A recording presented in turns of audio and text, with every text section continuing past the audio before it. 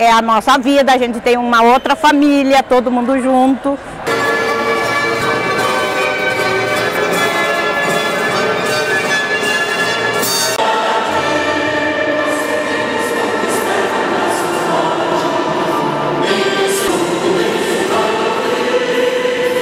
comecei a fazer atividade física a partir dos, dos 50 anos, né? Que aí eu comecei fazendo ginástica, depois quando apareceu o câmbio, a gente começou a fazer o câmbio, que já faz o que, uns seis anos, né?